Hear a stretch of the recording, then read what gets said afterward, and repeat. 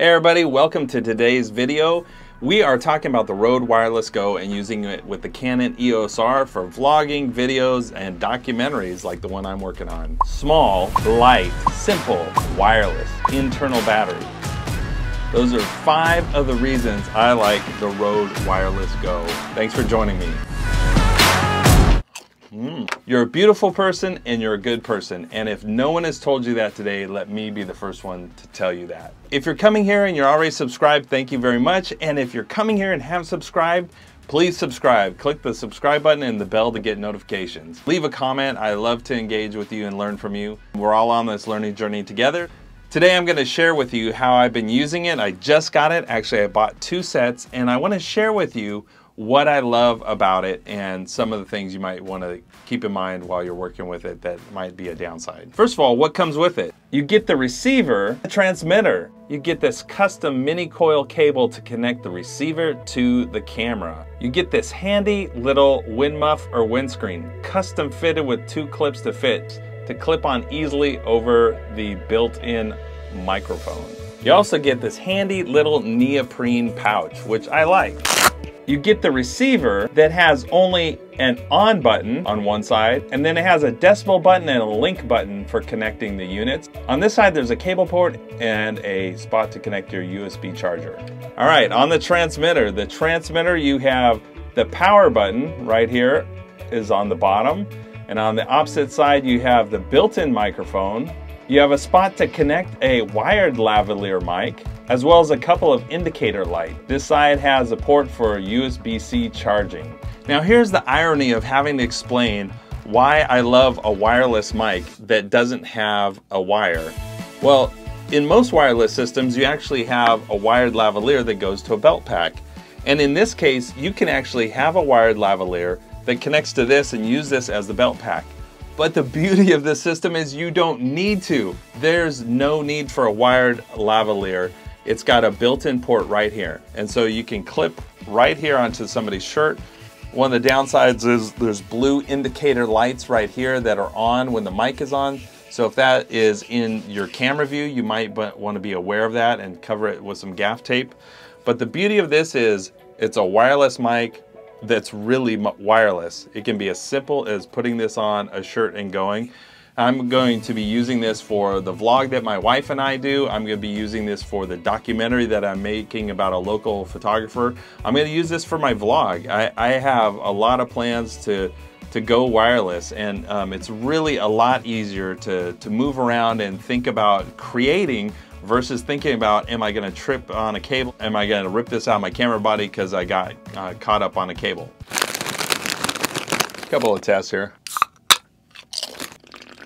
That's good, not sponsored. Not sponsored as well. So I'm really excited about this. A couple things to keep in mind is you have to maintain a line of sight. So the transmitter and the receiver have to be um, maintained within line of sight and it says it can go up to 70 meters. So I'm gonna test that. Another benefit is it pairs instantly. So like that, you turn on the receiver and you turn on the transmitter and you are connected. And it's super simple and easy to use. One of my goals is to use it by putting the transmitter onto a documentary subject on the lapel and then put the receiver on the camera. And as I'm capturing the subject either working in the field or in an interview, I have that crystal clear dialogue audio going right into the camera. There's another possibility because I bought two of these, so I was thinking ahead about having either um, more than one speaker, which is possible, but also the idea of using this to gather wild audio or even Foley sounds, Foley audio. So follow my thinking here.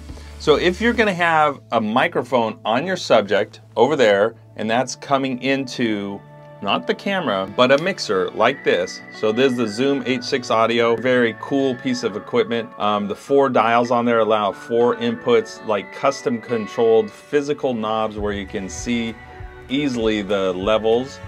The levels are right here on this screen. And so what you would have to do to use this with the Rode mic, you'd need an adapter like this, eighth inch to quarter inch. So for just sake of demonstration, we're gonna snap that into the side of here, put in your cable right here. So then you're gonna connect your receiver. So your receiver is right here, and you would have one of these on the other side, and so you'd have two inputs, and you would use your line out right here at the base to go into your camera. So the line out right here goes into the camera and you're blending these, the subject's uh, dialogue through the lapel mic and the Foley sound. So I might do something like, let's say you have a chef, how cool would this be? Or let's say you have a photographer, which I'm making a documentary about a photographer, take that mic that's right there and clip it to, let's say, their sleeve right here. That's a little floppy. I might turn it on the inside so it's braced against their arm. And you could get then sound from them shooting, because I noticed the first time I went out to do the documentary, gather B-roll footage of the photographer working in the field, is it was really cool to have those authentic shutter clicks and the pop of the flash. So you might have that sound coming from here. You might have a chef who's cutting, you know, in the in the kitchen and get some sounds right there. I've also seen it demonstrated, um, you clip this to a pant leg to get footsteps, things like that. But this is really small and easy to place and you can secure it with gaff tape if the clip doesn't work. I'm gonna put a link to a video up here or below with um, some cool um, creative uses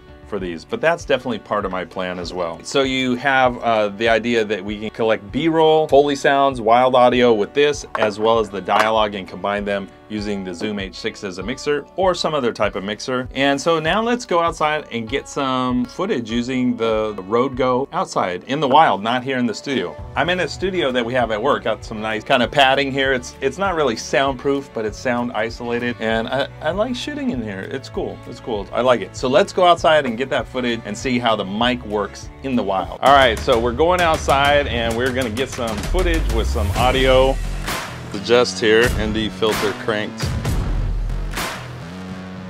There we go. All right, so I'm gonna walk over here to this uh, railing. I'm gonna set the camera down on the rail. Put this, I'm gonna set this right out here. I think we're a little, right there we go. All right, there we go. We got this camera set on this railing. Now I'm gonna back up so we can see how the audio works. All right, so I'm about 10 feet away. This is 10 foot audio. Now I'm about 20 feet away. How's this audio? How's that sound? All right, now I'm about 50 feet away, I would say. Yeah, 50 feet. So how's this audio? All right, so I'm walking over to my car here. Had to just defilter a little bit. Um, so car is 75 feet, maybe 100 feet away. And so they say it does 70 meters. So imagine three times this distance, which is really far. I, I think that's plenty. So this is how it did in the outdoors in the wild.